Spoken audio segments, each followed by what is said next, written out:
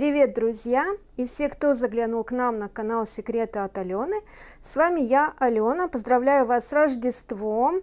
И по такому случаю я хочу сегодня испечь такой десерт. Это кекс яблочный э, с маковой начинкой. Для этого рецепта нам понадобится 3 яйца, кусочек сливочного масла, здесь 50 грамм, 180-200 грамм сахара,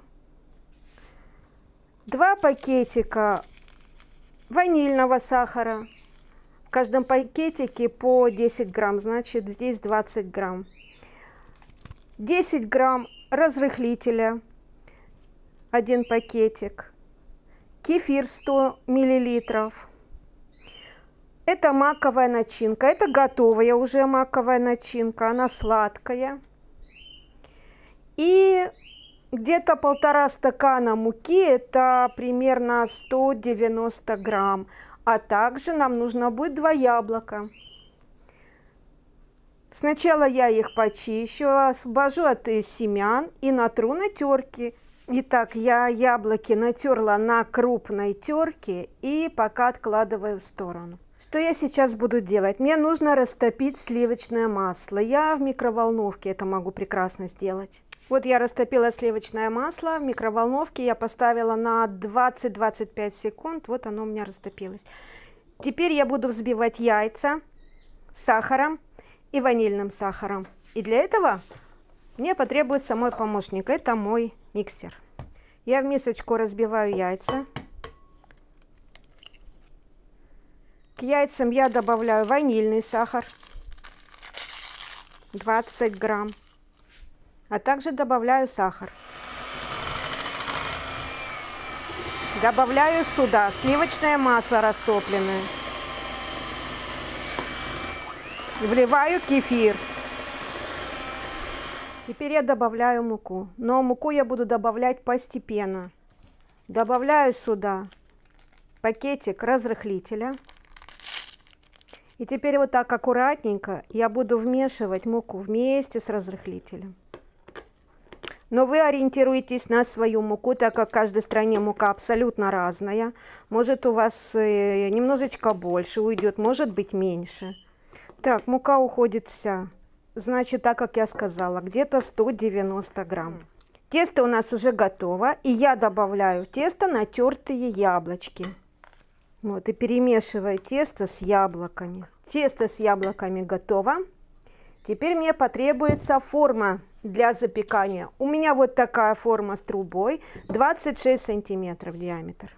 Нужно смазать маслом.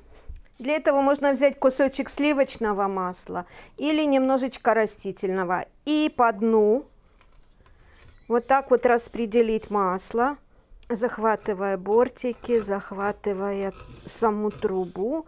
Мы распределяем этот кусочек сливочного масла. Так, что мы делаем сейчас? Половину теста я вылью в форму, половину оставлю. А вот для чего вы увидите.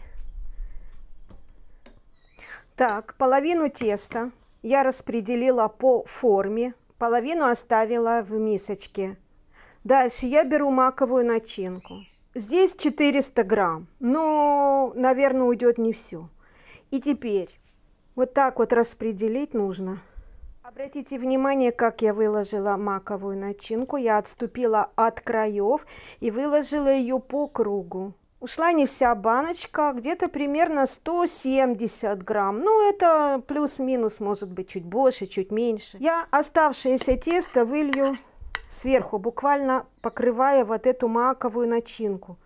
Вот так вот. И распределю. Вот так я равномерно распределяю, чтобы вся начинка была покрыта тестом. Духовка у меня уже заранее нагретая до 180 градусов при режиме турбо. И сейчас мы вот такой вот яблочно-маковый кекс поставим в духовку запекаться. Это мой очередной авторский рецепт.